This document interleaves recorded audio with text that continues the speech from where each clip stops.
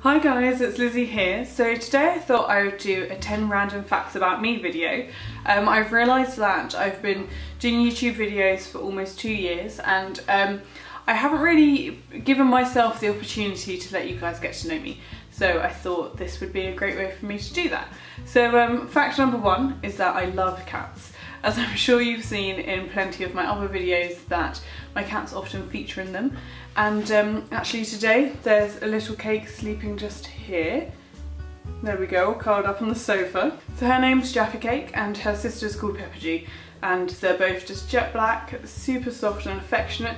And actually when I first got them, um, they were eight and 10 weeks old um, so not actually related.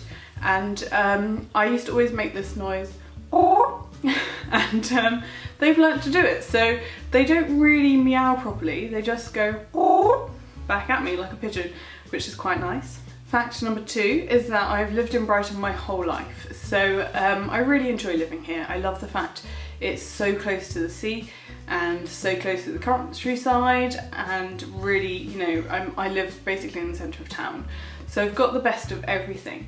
Um, essentially when I was 18 my parents decided to move to Lincolnshire and I had the option to go with them or stay here and um, I decided to make my own way here.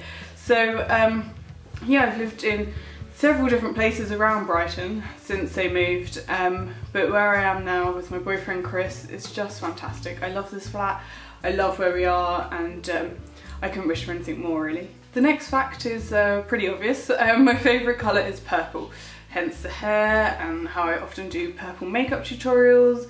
Um, my last flat I painted purple, lots of things I own are purple. Um, I just figured that it is a colour that makes me really happy, it makes me feel calm and um, yeah, I love it. I've literally always loved purple from as far back as I remember, my favourite colours were pink and purple, and then I dropped pink, and um, purple stuck through me. Stuck through me? Stuck with me through my life. You know what I mean. So another fact is that I apparently sleep talk. Um, obviously I'm completely unaware of this, but Chris will let me know in the morning what I've said. Um, one time I pressed my finger against his lips and went shh, that he wasn't saying a single word.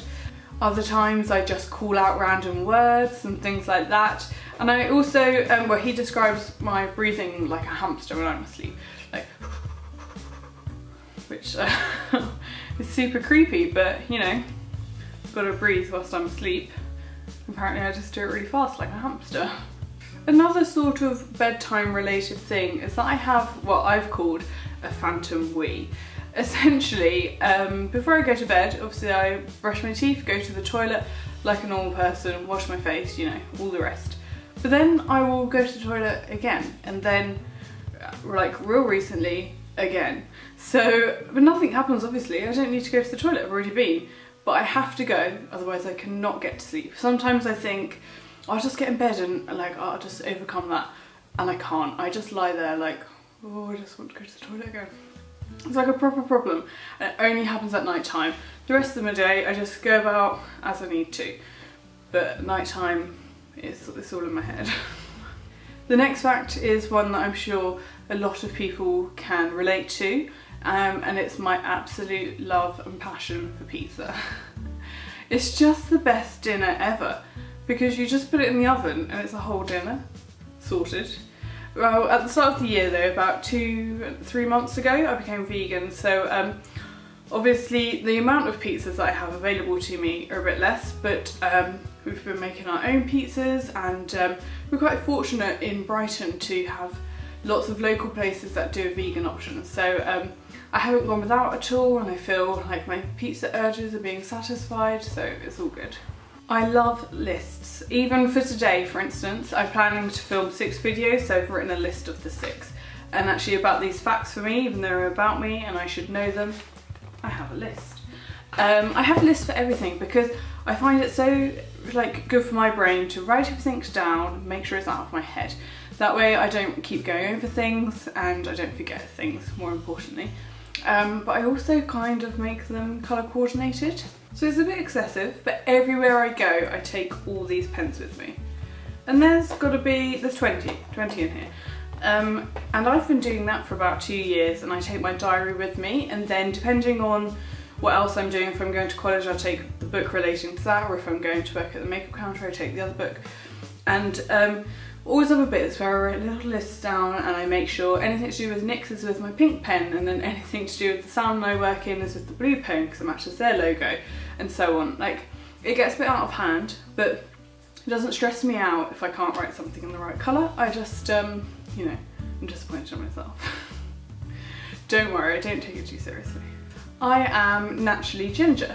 So um, I know that since doing this channel I haven't had my natural hair and actually I don't think my hair's been its natural colour since I was 15. So um, I'm 26 now.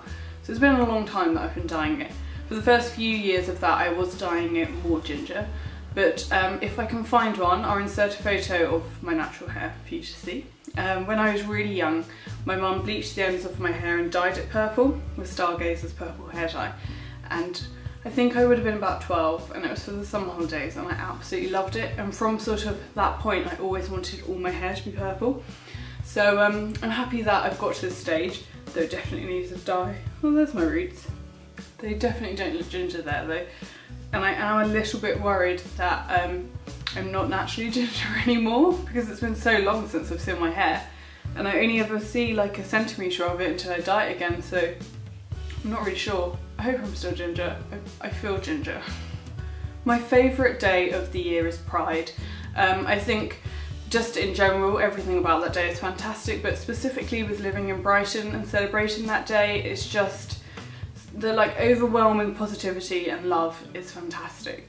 Everywhere you look there are rainbows and people smiling and laughing and, and dressed so flamboyantly and there's feathered boas everywhere. I said feather dusters. I mean there's them too. There's literally everything. You can express yourself in any way you like on that day and know that you're surrounded by people that love and care for you and it's just it's just the best. Um, and actually last Pride, so it's in August, my boyfriend gave me an engagement pebble, like a penguin. It's perfectly circular. I don't know if you can see that. Spherical, I should say. And um, yeah, makes the day even more special. So I keep this with me and I feel like a good penguin partner. If you didn't know, penguins propose to each other by giving them a pebble. if I hadn't made that clear enough. The last fact is that I absolutely love vintage, authentic, original pieces of furniture. So um, I store my makeup in these boxes that are um, original and um, my desk that I'm sitting at now is original. And I actually bought this without telling Chris so he just came home and um, it was all set up and it's got, it fits all my makeup in, it's got all the little cubby holes, it's a bureau and the mirrors I have around me, and um, some of the pictures on the wall, actually this one oh, it did go into focus, who knew, is um, an original piece from the Victorian era in the same frame. I have just over here um, an anatomical sketch of an elephant and that's nice, that's original too. Um, and I just like collecting these bits as and when I find them and to sort of fulfill my Victorian Gothic fantasy home which has slowly come together.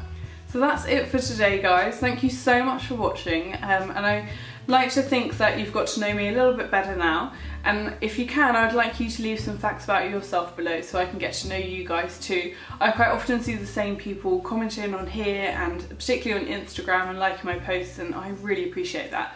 Um, I really love the fact you continually support what I'm doing. I feel, you know, extra special for that. I feel like, you know, it'd be good for me to get to know you in the same way.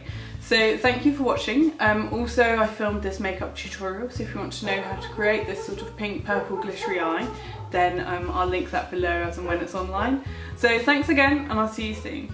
Take care, bye bye.